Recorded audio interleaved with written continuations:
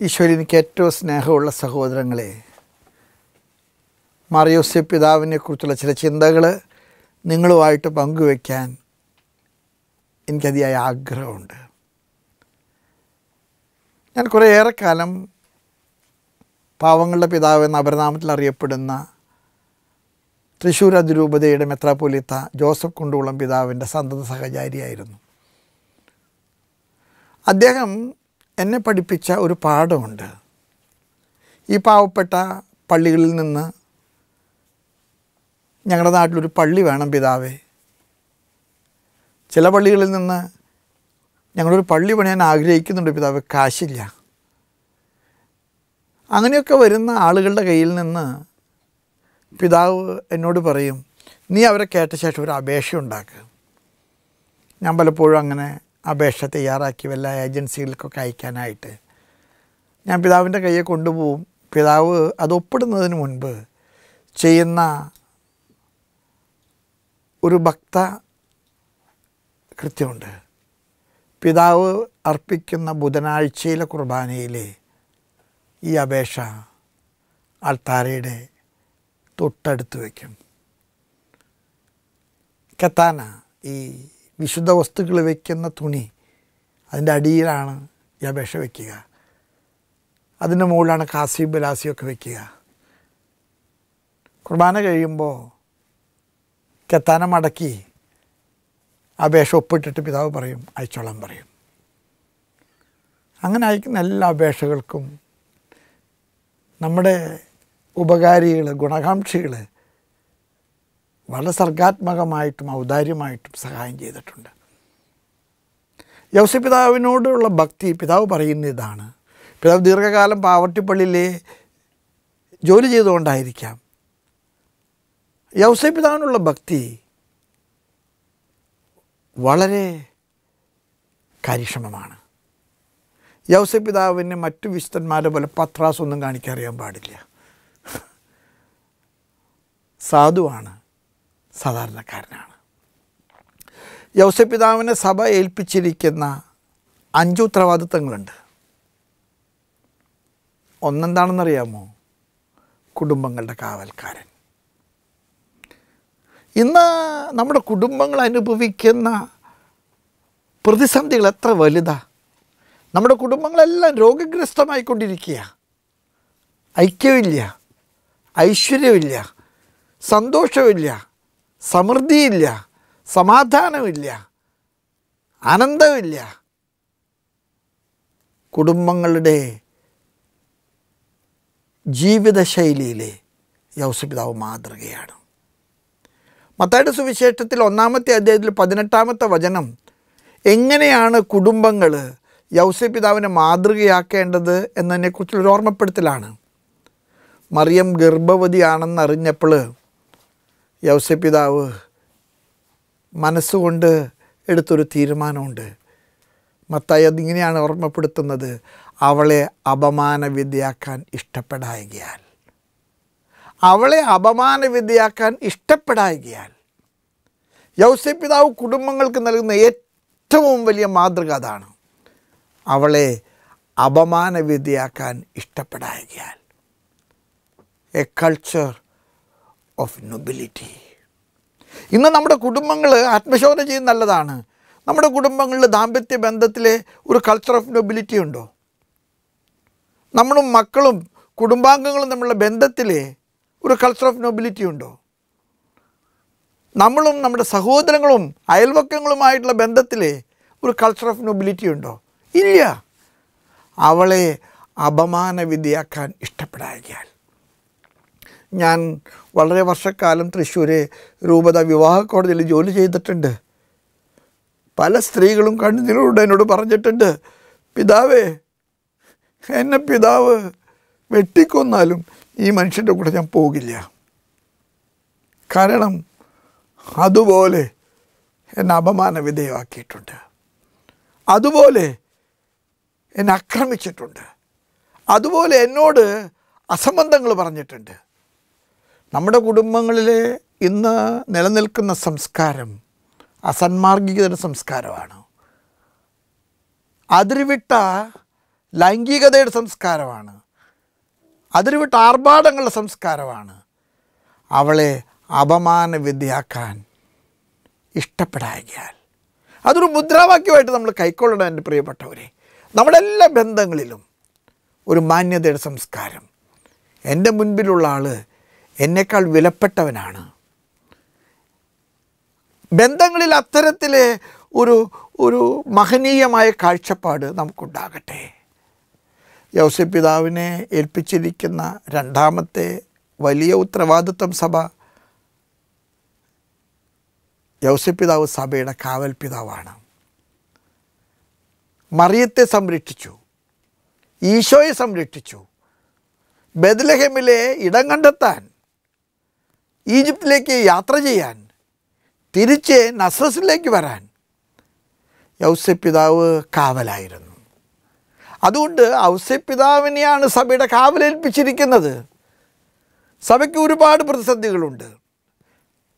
സഭയുടെ കുടുംബങ്ങൾക്കുണ്ട്. സഭയിലെ വ്യക്തികൾക്കുണ്ട്. ഒരുപക്ഷെ മറ്റുള്ളവർക്ക് കാവലിരിക്കാൻ ഞാനും നിങ്ങളും കർത്താവിനോട് പ്രാർത്ഥിക്കണം യോസപിതാവിന്റെ മാധ്യസ്ഥത്തിന് വേണ്ടി. ഈ കാവലിരിക്കുന്ന ഒരു ശുശ്രൂഷയുണ്ടല്ലോ. ആ ശുശ്രൂഷ വളരെ വിലപ്പെട്ട ഒരു ശുശ്രൂഷയാണ്. ഈ കാവലായിരിക്കാൻ മറ്റുള്ളവർ വഴിതെറ്റിപ്പോകാതിരിക്കാൻ മറ്റുള്ളവർ വഴി നടത്താൻ മറ്റുള്ളവർക്ക് ലക്ഷ്യം കാണിച്ചു കൊടുക്കാൻ അപകടങ്ങൾ സംരക്ഷിക്കാൻ നമുക്ക് യൗസപിതാവിനോട് പ്രാർത്ഥിക്കണം. പ്രത്യേകിച്ച് സഭ കടന്നു പോകുന്ന വലിയ പ്രതിസന്ധികളുടെ നടുവിലെ യൗസപിതാവേ നസ്രസിലെ കുടുംബത്തെ നീ കാവലായി നയിച്ചതുപോലെ സഭയും കാവലായി നയിക്കണമേ. യൗസപിതാവിനെ സഭ ഏൽപ്പിച്ചിരിക്കുന്ന മൂന്നാമത്തെ ഒരു ദൗത്യമാണ് യൗസപിതാവ് ബ്രഹ്മചാരികളുടെ പ്രത്യേക സംരക്ഷകനാണ്. നിങ്ങൾക്കറിയാം യൗസപിതാവിന്റെ ജീവിതത്തിന്റെ ഏറ്റവും വലിയ പ്രത്യേകത ബ്രഹ്മചാരിയായിരുന്നു യൗസപിതാവ് മറിയവുമായിട്ട് ലൈംഗിക ബന്ധങ്ങളില്ലാതെ ദാമ്പത്യത്തെ കണ്ടൊരു മനുഷ്യൻ. ദൈവത്തിന്റെ പദ്ധതി ദൈവം യൗസപിതാവിനെ ഏൽപ്പിച്ചപ്പോൾ മാനുഷിക വികാരങ്ങൾക്കൊക്കെ പുറത്ത് ദൈവിക പദ്ധതിക്ക് വേണ്ടി തന്റെ വലിയ അവകാശം തന്റെ വികാരപരമായിട്ടുള്ള വലിയ നിയോഗങ്ങൾ വേണ്ടെന്ന് വെച്ചു.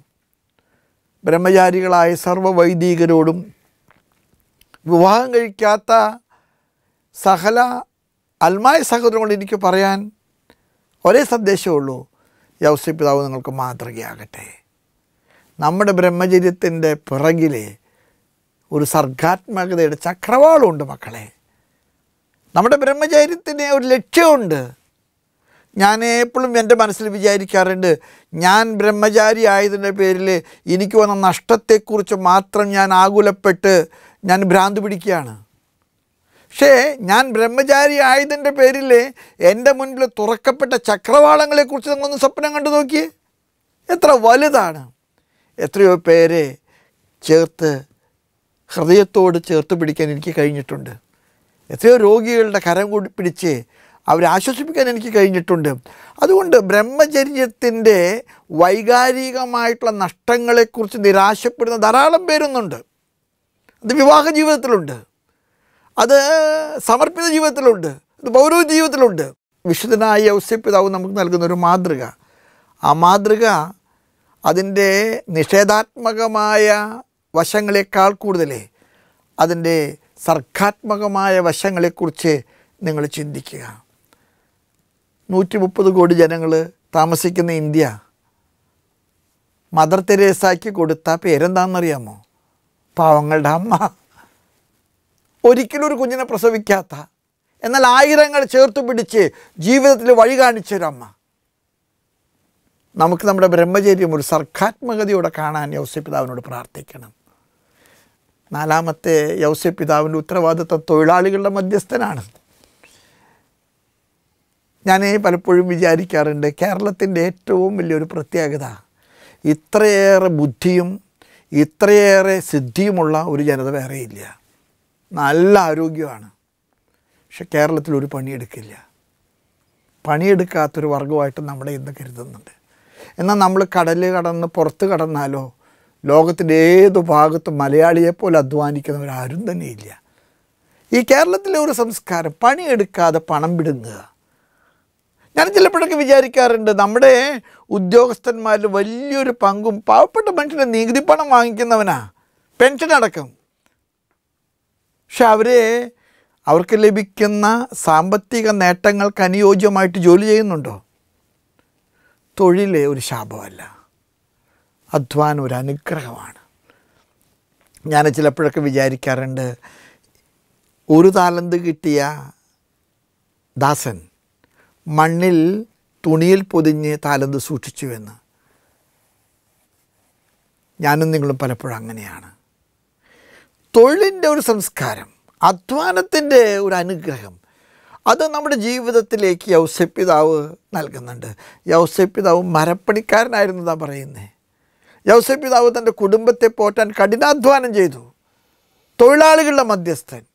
ഇപ്പോഴും മെയ് ഒന്നാം തീയതി യൗസപ്പിതാവിന്റെ ഓർമ്മ തിരുനാൾ കൊണ്ടാടുമ്പോൾ നമ്മുടെയൊക്കെ മനസ്സിൽ തോന്നുന്നൊരു ചിന്തയുണ്ട്. യൗസപ്പിതാവ് തൊഴിലാളികളുടെ മധ്യസ്ഥനാണ്. തൊഴിലിന്റെ മധ്യസ്ഥൻ. നമുക്ക് തൊഴിലിനോട് കൂടുതൽ ആഭിമുഖ്യം കഠിനാധ്വാനത്തോട് കൂടുതൽ ആഭിമുഖ്യം ഉണ്ടാകട്ടെ. യൗസപിതാവിനെ ഏൽപ്പിച്ച അഞ്ചാമത്തെ ദൗത്യം നൽമരണത്തിന്റെ മധ്യസ്ഥനാണ്. എത്ര മനോഹരമാണ് ഔസപിതാവിന്റെ മരണം. യൗസപിതാവ് മരിച്ചത് മറിയത്തിന്റെ മടിയിൽ തലവെച്ചാണ്. യൗസപിതാവിന്റെ കാൽക്കലെ പ്രാർത്ഥനാപൂർവം നിന്നത് യേശുവാണ്. യൗസപിതാവിന്റെ മരണത്തിന്റെ ചിത്രം നിങ്ങൾ കണ്ടിട്ടുണ്ട്. ഒരുപക്ഷെ നമുക്ക് മെയ് ഒന്നാം തീയതിയിലെ തിരുനാളിനേക്കാളും വൈകാരികമായിട്ട് അടുപ്പം മറിയൂസപിതാവിന്റെ മാർച്ച് പത്തൊമ്പതാവിന്റെ മരണ തിരുനാളാണ് മരണത്തിരുന്നാൾ നമ്മുടെ ജീവിതത്തിലെ ഏറ്റവും വലിയ സൗഭാഗ്യം സ്വർഗീയമായൊരു മരണമാണ്.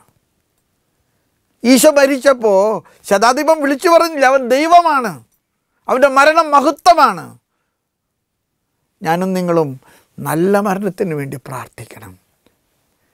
ആത്മീയ പിതാക്കന്മാർ പറയുന്നുണ്ട് ഒരു മരം എങ്ങോട്ടാണോ ചായുന്നത് അങ്ങോട്ടാണ് വീഴുന്നത്. ഞാനും നിങ്ങൾ എങ്ങനെയാണോ ജീവിക്കുന്നത്?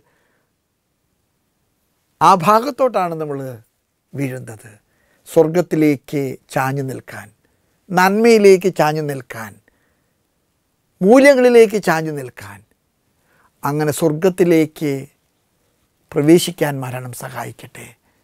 നാശത്തിലേക്കല്ല. യൗസപിതാവിന്റെ മാധ്യസ്ഥം നമുക്ക് പ്രാർത്ഥിക്കാം. യൗസപിതാവിന്റെ മാധ്യസ്ഥം വഴി നിങ്ങൾക്ക് നിങ്ങളുടെ കുടുംബങ്ങൾക്ക് നിങ്ങളുടെ നിയോഗങ്ങൾക്ക് ദൈവാനുഗ്രഹം ഉണ്ടാകട്ടെ എന്ന് ഞാൻ പ്രാർത്ഥിക്കുന്നു. യോസപിതാവിന്റെ മാധ്യസ്ഥം നമ്മെ സംരക്ഷിക്കട്ടെ. ആമേൻ.